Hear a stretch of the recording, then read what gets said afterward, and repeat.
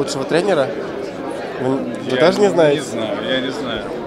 Кого-то? Очень, э, очень думаю, под вопросом это, потому что молод, а у нас слишком как бы не любят, наверное, молодым помогать, и поэтому не жду ничего. Ну, а сами как оцените свою работу в нынешнем сезоне вместе с э, Верой Занаревой? Я думаю, удачно, нет, результаты хорошие были, поэтому другие пускай делают выводы, как бы судят. Мне кажется, нормально. Вот э, когда мы с вами общались на Кубке Кремля, вы сказали, что уже хочется отдохнуть, устали. Вот э, как отдыхаете и какие планы на дальнейшее? Отдых начался по полной, уже был у себя на родине в Курске. Приехал на один день сегодня, просто вот э, вместе с Верой поучаствовать в этом мероприятии. И завтра опять, опять обратно на родину. А когда начинаются ваши тренировки, где они будут проходить? Э, Мы начнем, наверное, где-то в, нач- в начале декабря и будет э, поедем во, во Флориду, э, в Майами, э, не Майами, в Брэдентон, э, в Балетере. Ну, как я вам и говорил, мы выбрали, остановились на Америке в этот раз. Вот. В начале декабря, пока точных дат мы не знаем.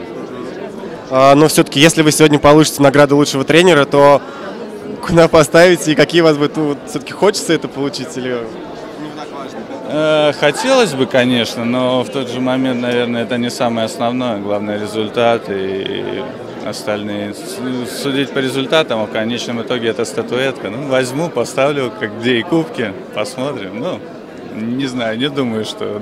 Не могу не спросить, может быть, э, может быть, не самое удачное время. Тем не менее, когда вы начали работать с Верой, вы сразу в внимание болельщиков попали. Очень обширное такое. И, естественно, всплыли ваши модельные успехи. Вот как прокомментируете? Нет ли какого-то смущения или что-то?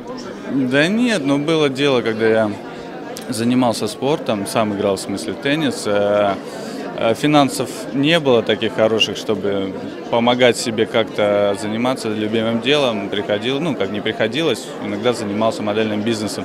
Но это было лишь как э, дополнительная возможность каких-то финансов, приобретения финансов, чтобы потом инвестировать уже в теннис, мою дальнейшую карьеру.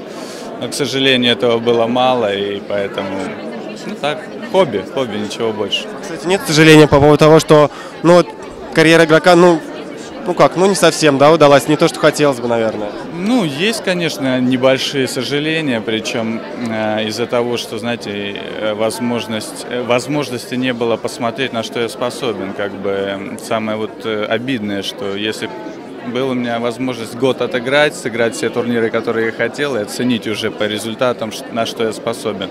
Я бы был бы не дурак, если бы видел, что не могу чего-то достичь, остановился бы. А так получилось ни туда, ни сюда. Ну, что не делается, то к лучшему. Вот вера, э, вроде все нормально. Ну а сейчас на тренировках Вера может оставить вам достойную конкуренцию или все-таки мужчина женщинам вообще не, не соперник? Э, Пока она не слышит. А, Нет, ну, мужчина это чуть-чуть, конечно, ну, другой... Ну, расскажи. Нет, ну, естественно, мужчины, как бы, э, это чуть-чуть другой уровень, как бы скажем. Просто из-за счет того, что они более быстрые, более сильные, и в этом вся разница.